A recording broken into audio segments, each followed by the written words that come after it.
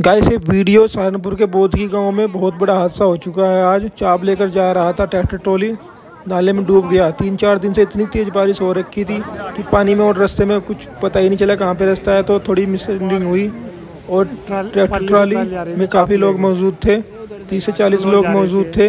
इसमें से दस की मौत हो चुकी है। मौके पर पुलिस ने इनको निकाला पुलिस को सूचना मिली घटना पर पुलिस पहुँची और पूरी कार्रवाई छानबीन में दस लोगों की मौत जो हो चुकी है पानी में डूबने से और 10 से 15 लोग अभी भी लापता हैं। गाइस आप इस वीडियो को शेयर कर ज़्यादा से ज़्यादा शेयर करें ताकि आगे कभी फ्यूचर में कभी ऐसी घटना ना हो।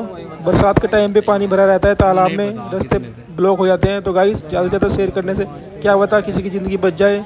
लोग इस वीडियो को देखेंगे तो सतर्क रहेंगे। बरसात के टाइम में प्लीज़ गाइस सपोर्ट इस वीडियो प्लीज़ शेयर